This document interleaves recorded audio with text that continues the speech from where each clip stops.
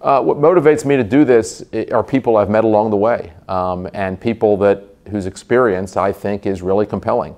There's a couple here in the city in New York, good, really good friends they've become. They're uh, probably in their mid or late 40s, although I may have insulted them by aging them. But a couple of women, they have three awesome kids.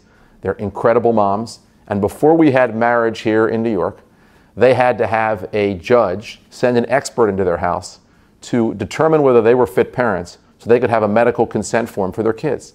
Think about that. That's like something you'd hear about in the old Soviet Union or in a totalitarian regime. That's un American, but that happened here.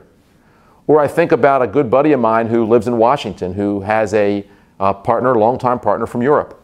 And um, they love each other. They're an awesome couple. And until recently, they had to worry every few years of how he would stay in this country.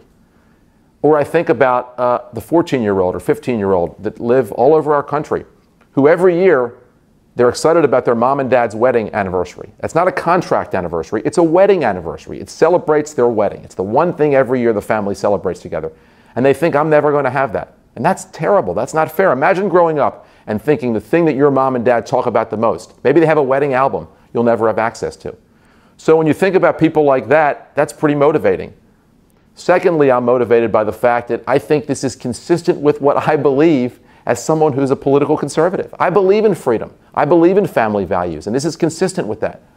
Um, I'm also motivated by the fact that I feel like there's an area where I can help. You know, I've had a unique experience uh, professionally in my life, um, and I think as a result, I've learned some things about how to be involved in public persuasion.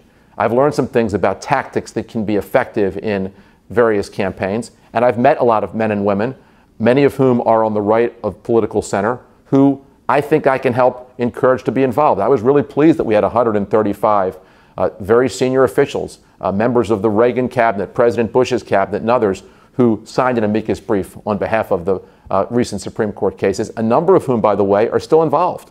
I'm proud of the fact that Paul Wolfowitz wrote an op ed uh, in a uh, Texas newspaper after writing the amicus brief, staying involved in the case. So all of those things are very motivating to me.